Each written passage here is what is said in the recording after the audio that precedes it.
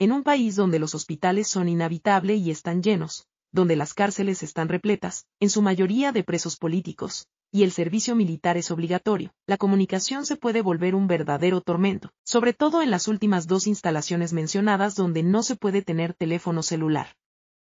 Desde esas instituciones los reclusos, los adolescentes obligados a pasar el servicio militar también son reclusos, se comunican utilizando las llamadas tarjetas propias.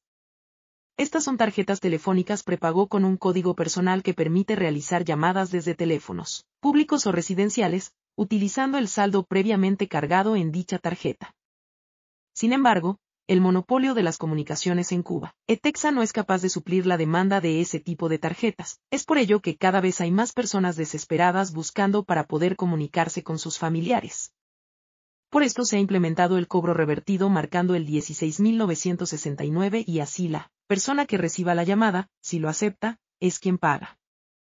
Se permite realizar llamadas locales y de larga en toda Cuba a teléfonos fijos.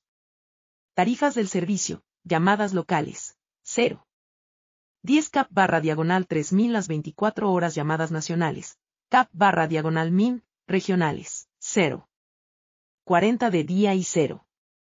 20 de noche y madrugada interregionales. 1. 00 de día y 0.